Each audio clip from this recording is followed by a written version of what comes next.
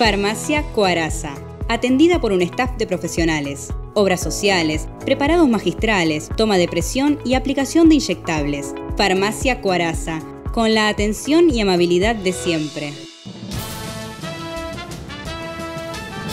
La puesta en valor, eh, estamos trabajando para eh, eh, poder tener las mejores condiciones edilicias y abrir ya, además de las actividades que, sí, que tenemos todos, la parte de museo y, bueno, y abrir más hacia la sociedad todo lo, lo que tiene, son 108 años que tiene esta biblioteca y gran parte de la historia de Campana donde pasó también eh, una buena parte de, la cultura y, bueno, y que lo puedan disfrutar todos los campaneros.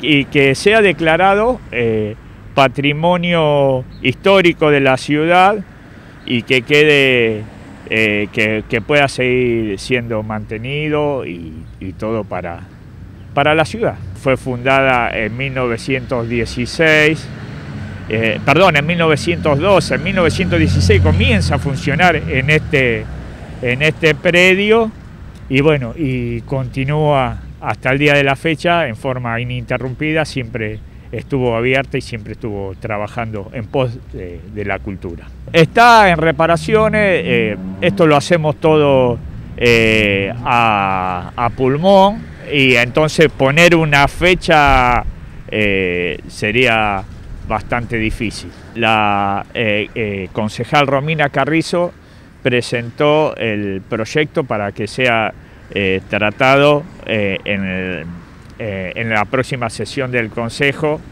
Y así que bueno, quiero aprovechar esta oportunidad para pedirle a todos los concejales que por favor nos apoyen en esto que es la declaración de patrimonio. Te quiero hacer una aclaración en cuanto a las actividades. La biblioteca tiene unas partes en reparación y otras no, no es que está cerrada totalmente, tiene un patio, eh, tenemos atrás la parte de la imprenta, todo lo que hemos logrado eh, eh, reparar obviamente sigue funcionando. Llegó una nueva internet por fibra óptica que te asegura una conexión estable y eficaz. Ifranet. Hay una nueva internet en la ciudad.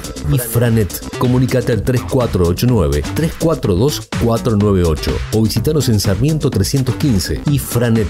Vas a volar en la red.